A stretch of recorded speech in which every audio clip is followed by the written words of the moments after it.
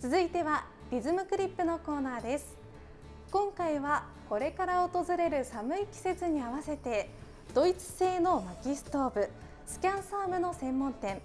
薪ストーブベスト高崎店の森谷さんにお越しいただきました。よろしくお願いします。お願いします。森谷さん薪ストーブの専門店ということなんですが、はい、簡単にどんなお店なのかご紹介いただけますか？はい当店はですねあのドイツ製の薪ストーブあのスキャンサームの専門店でございまして、えー、スキャンサームはあの鋼板製のストーブになります。お店のこだわりとかもしございましたらお願いします。そうですねあのまああの明るく元気に接客対応させていただいて、まあ、アフターメンアフターフォローですとかメンテナンスもですねあのその後もしっかりさせていただければと思っております、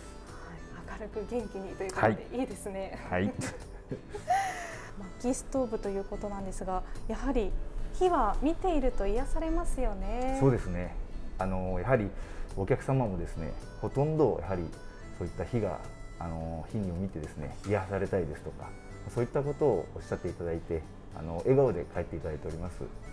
そうなんですね。はい。おすすめの商品とかはありますか？はい。スキャンサーモのですね。あの603フロントというあの商品になりますね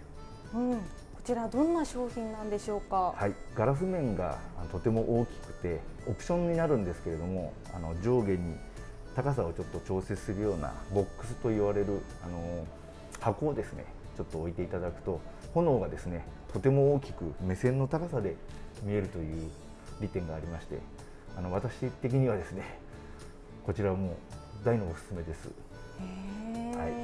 はい。だいぶスタイリッシュなデザインですよね。そうですね。これまでちょっとイメージしていたような煙突があって、はい、レンガ作りでみたいなものとは全く違いますね。そうですね。まあそこがまたあの広範性のあの良いところではありまして、あのガラス面はとてもあの厚いんですけれども、あのサイドですとか後ろですとか、まあそういったところはですね、まあ確かに暖かくはなりますけれども、あの暑いといって火傷するほどには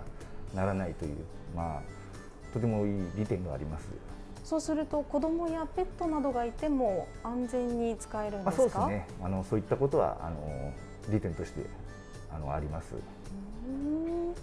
お店に訪れる方というのはどんな方が多いんですか、はい、今ですね、あのまあ、これからですねやはり新築住宅を、あの検討される方ですとかやはり、あの後付けで住宅にやはりちょっと火を見たいというような方がいらっしゃっていただいてますね。新築でなくて後付けで、まあ、既存のご住宅に後から設置ということも可能ですのでその辺はまたあのお店の方でちょっとゆっくり話させていただけたらなと思います。そういった対応もできる、はい、ということなんですね。大丈夫です。大丈夫です、はい、ではお店のアクセスについて教えてください。はい。当店はですね前橋インターからですとあの新潟方面のお客様が来ていただくのに前橋インターから10分、えー、東京方面ですと高崎インターですと約15分ですかねそしてあの軽井沢方面ですとあの松井田妙義インターから約あのすみません30分ほどで来ていただけると思います。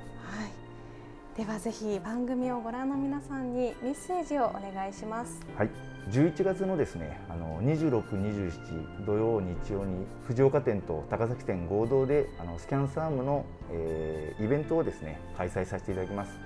ぜひあのお時間あったらですね、あのお立ち寄りいただきたいと思いますのでよろしくお願いいたします。ここまでドイツ製の薪ストーブスキャンサームの専門店薪ストーブベスト高崎店の森谷さんに伺いました。どうもありがとうございました。ありがとうございました。